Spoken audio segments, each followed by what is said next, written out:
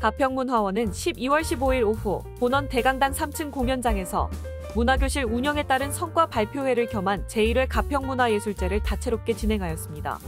꾼들의 몸짓이란 부제로 열린 이번 예술제는 회원들이 문화교실에서 연마한 한국무용, 연극, 모든북, 경기민요, 라인댄스 등 다양한 예술 분야의 공연을 선보였고 소리꾼과 춤꾼들의 흥겨운 무대가 펼쳐진 가운데 행사 말미에는 회원들의 장기 자랑으로 생동감 넘치는 예술의 향기로 가득 채웠습니다.